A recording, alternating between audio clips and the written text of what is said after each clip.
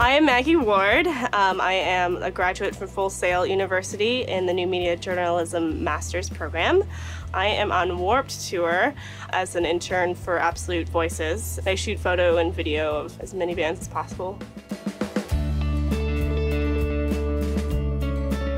Every day is the same, but every day is different. I'll wake up at 9.30, find out where catering and production is because it's different every day. Um, I'll grab a set schedule and then based on who's playing at the Acoustic Basement. I provide coverage of all these bands, most of the Acoustic Basement because we have a good you know relationship with Full Sail and they love their acoustic stuff.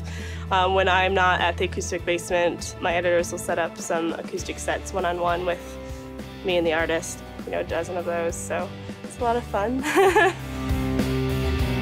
it is not all fun and games. Some days are fantastic. Sometimes it's great to party but we're here to work. Working comes first, partying comes second. When I was mulling over taking this job, lots of people are like, stay away from drugs and alcohol, Maggie. I'm just like, I'm not gonna have time for that, are you kidding me? Like, I'm gonna be working 24 hours a day, and I do.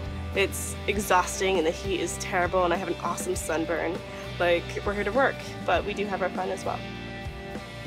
What I love most is photographing the monster stage. Those bands are wild and crazy and kind of scary but you can just see the passion and I get to photograph that, I get to capture that.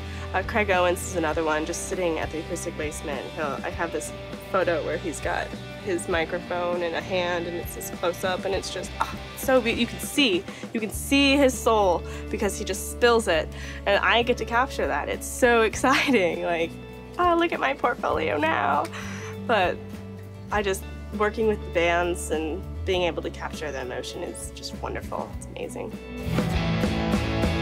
It's really surreal. I had never been to a concert before. I've never been to a Warped Tour concert before I got I didn't get this job on my love of punk. They hired me for my enthusiasm, I think.